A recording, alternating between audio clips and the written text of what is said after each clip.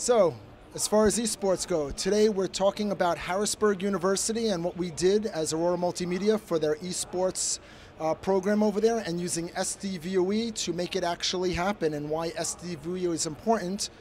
in order to do esports these days.